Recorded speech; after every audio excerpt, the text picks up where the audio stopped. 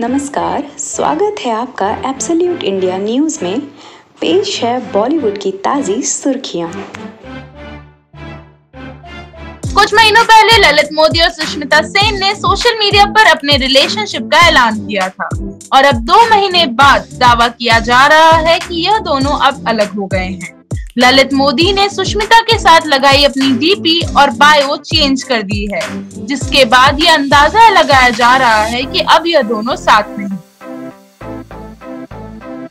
ऋचा चड्डा और अली फैजल की शादी अब तक कई कारणों से टलती जा रही है बट अब फाइनली यह शादी होने वाली है इसको लेकर कई जानकारियाँ सामने आई हैं। खबरें आ रही हैं कि दोनों इस महीने के अंत तक शादी करने वाले हैं दोनों इंटीमेट शादी करेंगे और पाँच दिनों तक शादी का सेलिब्रेशन चलता रहेगा।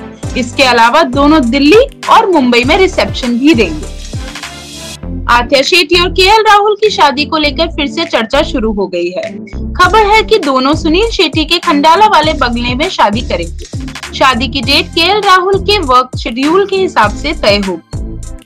कार्तिक आर्यन ने सोमवार की सुबह अपने इंस्टाग्राम से जानकारी दी कि वह जल्द ही आशिकी थ्री में काम करने जा रहे हैं फ़िल्म का निर्देशन अनुराग बासु कर रहे हैं अब इस फ़िल्म की लीड एक्ट्रेस को लेकर भी अपडेट आई है कहा जा रहा है कि कार्तिक के अपोजिट जेनिफर विंगेट नज़र आ सकती हैं। इस बात पर रिएक्ट कर अनुराग बासु ने एक न्यूज़ पोर्टल को बताया कि वह अभी भी कास्टिंग के काम में बिज़ी हैं।